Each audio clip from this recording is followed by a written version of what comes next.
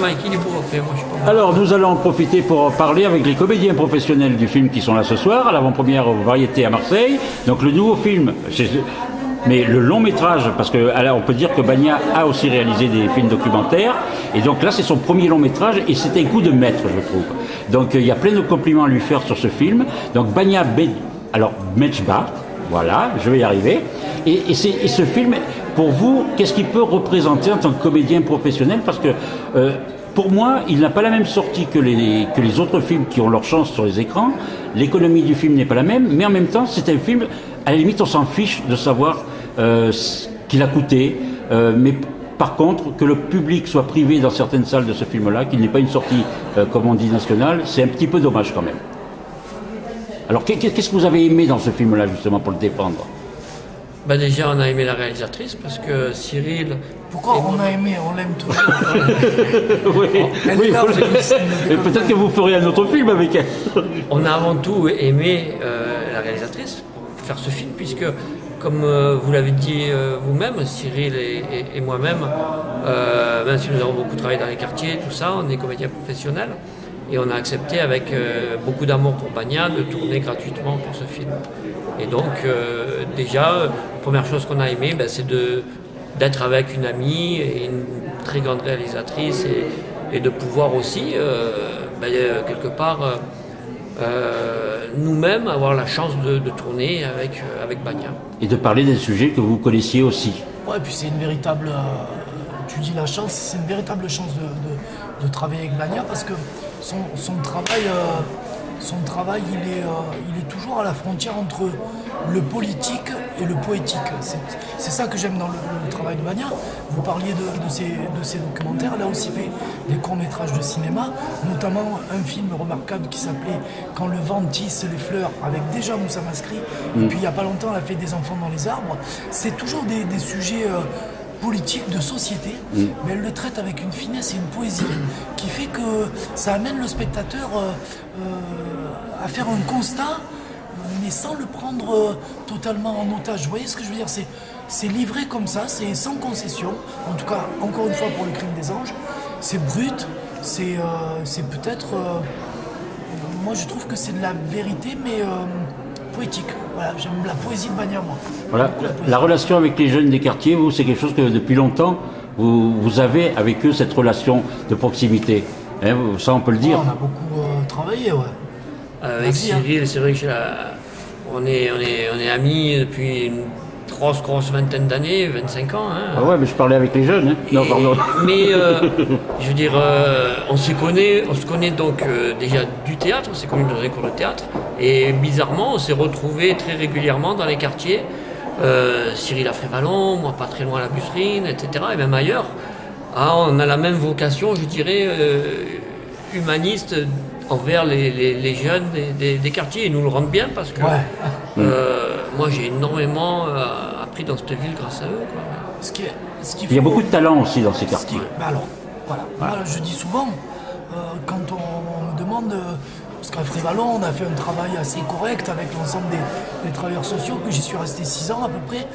Et en fait, c'est parti, on a, je pense, réussi ce travail-là, parce qu'on a considéré les, les petits. C'est un problème de considération.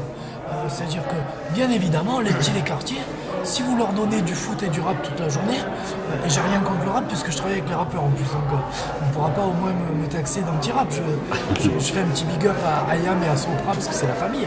Mais en tout cas, les petits des quartiers, il faut les considérer capables, au même titre que vous et que moi et que toi, de leur donner une autre culture et un autre art. Ça veut dire leur parler d'architecture, leur parler de Georges Brassens, leur dire, pour moi, même si je travaille avec Sopra ou avec Ayam, Brassens, c'est le patron. Nous, on aime le cinéma, on fait du cinéma. Molière, c'est le patron. Jean de La Fontaine, c'est le patron. Si tu arrives et que tu expliques ça aux petits, en les considérant, en leur disant, voilà, moi j'ai appris ça. Je vois pas pourquoi toi, même si tu habites à Busserine, même si tu habites à Frévalon, même si... Pourquoi tu n'aurais pas droit? Pourquoi ça? Moi, la chance que j'ai eue, c'est que quand je travaillais à Frévalon, j'ai joué dans un film qui s'appelle Taxi 3.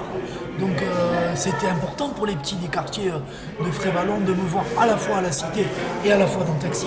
Et ça m'a permis de, de faire passer ces messages-là, de leur dire voilà, si j'arrive à jouer dans Taxi 3, c'est parce que je peux te dire là, sur place, du Victor Hugo. Et hop, petit à petit, on a fait ce chemin-là, ça a pris des années, mais on les a considérés capables de recevoir de la culture et de l'art. C'est vraiment un problème de considération. Je ne sais pas ce que tu en penses. Oui. De les écouter aussi et de les laisser parler, de, leur- de laisser donner leur avis. les écouter, les laisser parler, et après, comme dit Cyril, le fait que, que les jeunes puissent nous voir euh, euh, à notre niveau, hein, le comédien euh, en général euh, purement marseillais, quoi, on tourne beaucoup sur Marseille, en tout cas régulièrement, euh, nous donne aussi la légitimité auprès de- auprès d'eux, et ils ont une confiance aussi, parce que, comme dit Cyril, euh, évidemment, ils nous posent des questions sur notre métier, sur notre rôle, on leur répond, mais on- avec bienveillance, avec euh, vraiment hein, un- puis- amour des jeunes, et, et- et ça, ça permet de pouvoir, pour certains, les, les engager euh, avec nous vers ce, dans ce milieu du cinéma. Et comme on a pu le voir dans le film de Bagna, euh, ben, il y a des pépites quoi, euh, qui peuvent sortir. Et ça nous permet aussi de, de- enfin, de faire passer des messages et, et notamment de parler des valeurs. Ça veut dire le travail, le travail et le travail. Et je rajoute, moi, il faut être gentil avec les gens. Voilà. Parce que c'est vrai aussi que ce qu'on voit à la télé, on peut sortir euh, d'un télécrochet ou des anges ou des trucs comme ça. Mais c'est pas un métier. Euh, c'est quoi le travail que tu veux faire Même si tu veux faire du cinéma, c'est quoi le travail? Et puis le cinéma, c'est pas que, même si c'est vrai que nous, on nous interviewe là, c'est pas que les acteurs le cinéma. Le cinéma, c'est des réalisateurs, c'est des scripts, c'est des monteurs, c'est des ingé-sons, c'est des régisseurs, c'est le stagiaire régie qui vient nous chercher le matin, euh, tu vois, avec sa voiture. Et c'est les rapports humains aussi qu'il y a entre tous Donc, ces gens-là. Ça nous permet, nous, de dire à ces, à ces, à ces jeunes des quartiers, il n'y a pas de souci. Si moi je peux faire du cinéma, toi tu peux en faire aussi. Par contre, il faut travailler, travailler, travailler. Voilà. Moi j'ai toujours dit ça. Le Ballon. Et hier j'étais euh, j'ai- voilà, par exemple, hier j'étais invité euh, au- à l'Open 13. Je suis allé à l'Open 13 et tout. Voilà, comme, comme la veille, euh, il y a eu la série Marseille euh, qui est passée. Il y a des gens qui m'en ont parlé parce que j'ai joué dedans, ça. Eh oui. Donc je, je trouvais ça cool que les gens viennent me parler. Mais qui je vois? Amidou, qui est chef des- de l'ensemble des gens qui font la sécurité à l'Open 13. Amidou, il est de Frévalon. Je l'ai connu, il avait 17 ans. Quand il m'a vu, tu vois, ils sont contents. Parce que quand on- tu les aides comme ça, quand tu les considères, ils, ils se rappellent de toi. Et 20 ans après, ils te prennent dans ses bras. C'est maintenant, c'est des Golgotes, tu vois. Ils sont papa, ils ont 35 ans. Amidou, eh bien hier, j'étais ravi de le voir. Je dis pas que j'étais pas content de voir les autres, mais Amidou, c'était spécial. Tu vois, parce que il a fait son petit bonhomme. Voilà, puis en même temps, il y a le rappel d'un rapport d'égal à égal. C'est ça aussi. Il n'y a pas tout de suite euh, les bras, clichés. Voir. Et moi, j'étais ravi de le voir, quoi, parce que, en plus, tu te dis finalement, les Nino, ils tournent bien, quoi. Alors, ce que, ce que je vais dire, pour, pour finir et pour conclure avec vous, c'est que vous êtes quand même dans le film de salaud. hein. Ah, c'est parce qu'on est, on est tous les deux très gentils. euh, la c'est pourquoi. C'est pour votre tête Alors moi, je sais pas, qu'est-ce que t'en Elle vous a dit pourquoi Bagna Mais, mais c'est bien parce que vous défendez justement une belle cause avec des personnages de salauds. Il n'y a rien de mieux que des gens humanistes pour défendre les salauds. Moi, Gérard, comme euh, on se connaît bien et que grâce à toi, j'ai fait de la radio il y a Oh. 23 ans, grâce à toi, je le dis souvent, c'est grâce à toi. Euh, je vais te faire une confidence. Ah. Quand j'ai vu le film là, la première fois, oh, je- franchement, j'ai détesté mon personnage. quoi. J'ai trouvé qu'il était pas cool, quoi. Pas gentil, mon personnage est pas gentil. Ah non, En, on peut en pas plus, dire. c'est vrai que connaissant Cyril depuis 25 ans, on est des c'est mecs cool. c'est l'antithèse. Toi, quoi. C'est- tien, C'est le la- c'est- personnage. c'est l'inverse. c'est- Oui. Mais toi, c'est pareil. Tu vois, Ah non, moi je suis un enfoiré quand même dans la vie aussi. hein. Il n'y a que Gérard qui a enfoiré. Alors d'ailleurs, je vais prendre la caméra. Oui, lâche la faire caméra. Voilà. Et on va faire ça. J'enlève mes lunettes. Alors Gérard Chargé, tu as pensé quoi du film, toi? À ce que j'ai pensé du film, c'est la première fois que, une des premières fois, parce que j'ai vu quelques-uns, euh, c'est un film sur Marseille qui pour moi m'a vraiment bluffé parce que on est dans la réalité. Donc c'est vraiment du réalisme et euh, les personnages sont vrais. Et comme je disais, quand je, je me suis permis d'intervenir dans, dans le débat, parce que euh, le fait que justement dans les cités, j'y ai vécu aussi, moi, on fait encore des films, même avec Fred, avec d'autres personnes, euh, avec les jeunes dans les quartiers aussi. Et c'est quelque chose de très important. Et là, nous avons un projet euh, qui va peut-être se concrétiser euh, prochainement pour justement qu'il y ait un rapprochement entre tous les quartiers de Marseille. Parce que pourquoi dire quartier sud, les cités, les voilà. Donc moi, j'ai été étonné, c'est que depuis 50 ans que je suis à Marseille, c'est que c'est ce que j'ai dit dans la salle, c'est que moi, j'ai retrouvé des gens humains même si je savais qu'ils étaient dealers, qu'il y en avait qui peut-être. Mais à l'époque, c'était pas comme aujourd'hui.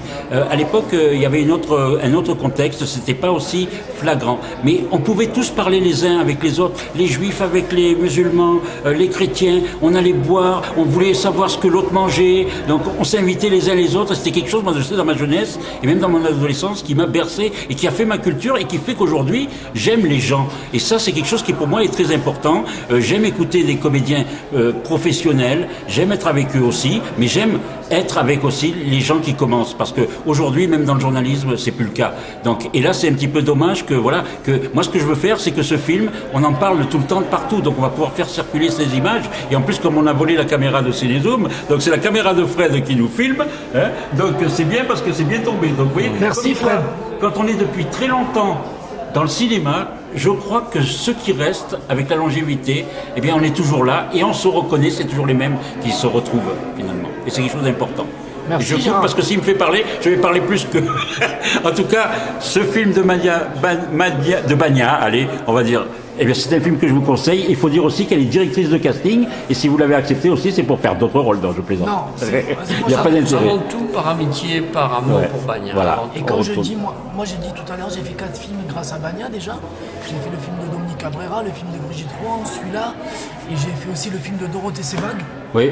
Tu jouais dedans toi Oui, tu jouais Et dedans. le, Rouen, c'était lequel Euh, le débarcadère des anges. J'y étais aussi. Tu étais voilà. en fait. Eh ben voilà, donc c'est la famille. Ça, Voilà, mais c'est ça, c'est ça. Non, non, mais Bagna, c'est vrai euh, qu'on ne pouvait ouais. pas refuser. Et quand je dis que- Elle nous fait travailler régulièrement, c'est une amie, c'est un amour. c'est- Et elle peut nous demander. Voilà, je, je dis souvent, euh, Mania, elle dit de nous qu'on est des bons acteurs. Et je dis, euh, dans la salle tout à l'heure, j'ai dit, quand quelqu'un dit de vous, un réalisateur dit de vous que vous êtes un bon acteur, vous arrivez, vous êtes en confiance. Donc bien évidemment que moi j'aime pas mettre des calibres dans la bouche d'un mec, tu vois, comme j'ai fait. Sauf que c'est Bania qui me le demande. Voilà. Bien sûr que le personnage que je joue, il est, il est pas sympathique. Il est violent, il est antipathique. Mais c'est Bania qui me demande de le jouer. C'est pas pareil. Ça veut dire que il y a tellement de. Tu parlais de. qu'on qu'on l'aimait beaucoup. Il y a de l'amour entre nous.